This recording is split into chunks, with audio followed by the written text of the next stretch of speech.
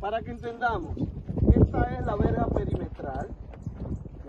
Todo esto es una parte de República Dominicana y Haití. Y de aquí para allá República Dominicana. Lo desastroso de lo que hemos hecho es lo siguiente. Fíjense todos los manglares de la República Dominicana, que va directamente al río Masacre y fíjense todo lo quemado y seco que es Haití. Lo que estamos haciendo con esto es, toda esta parte de verde, área protegida nuestra, se la estamos dando a Haití. Luego que tú tengas este muro y una malla ciclónica, ¿qué protección vamos a tener respecto a esos manglares?